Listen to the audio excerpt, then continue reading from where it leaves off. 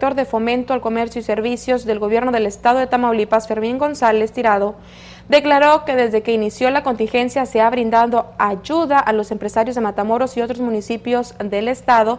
Además, aseguró que se han acercado más de 150 empresas a nivel estado, de las cuales 40 son del municipio.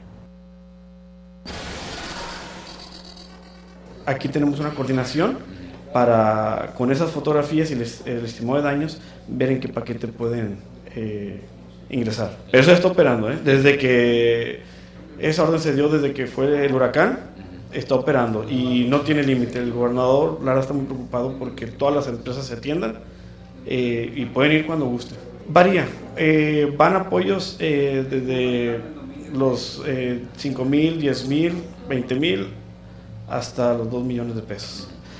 Algunos son, dependiendo del esquema, entran en algunas tasas de interés y otras van variando hay apoyos que van al 6% anual y otros que los vamos a operar con la banca a, tasas preferenciales acorde a, la banca. 6% anual, que viene siendo el punto 5 mensual. Eh, tenemos una, un número hasta el día de...